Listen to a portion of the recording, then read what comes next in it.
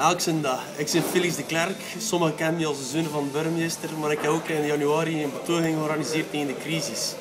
Maar die crisis is nu gedaan en we hebben een regering. Maar wat een chief wordt er minister en dus geen gouverneur.